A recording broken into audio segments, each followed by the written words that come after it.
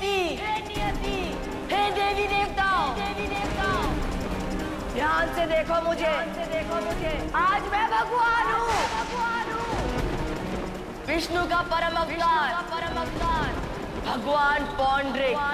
अब ये सृष्टि अब ये सृष्टि मेरे संकेतों पर चलेगी अब इस सृष्टि की नियति। सृष्टि की नियति। और मनुष्य का भाग्य। मनुष्य का भाग्य।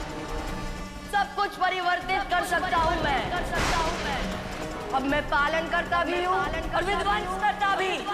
इसीलिए बोलो इसीलिए बोलो सबसे पहले क्या करूँ मैं? क्या करूँ बोलो। नारायण नारायण, ये क्या अनर्थ हो गया प्रभु? पौंड्रिक आपका भक्त अवश्य है। किंतु उसकी भक्ति में प्रेम नहीं, अपितु अहंकार बसता है। और एक अहंकारी मनुष्य को आपने अपनी सारी शक्तियाँ प्रदान कर दी प्रभु। और एक अहंकारी मनुष्य केवल विध्वंस कर सकता है प्रभु। यह पौंड्रिक मनुष्य नहीं अपितु मनुष्य के रूप में एक प्रकार का असुर है।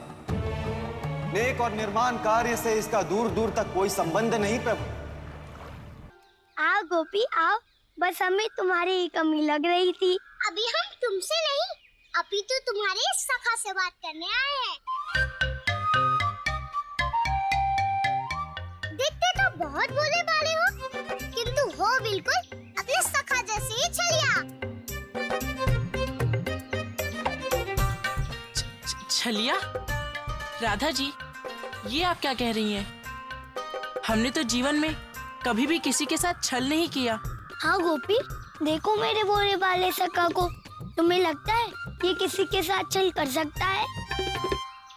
अवश्य तुमसे कोई भूल हुई है।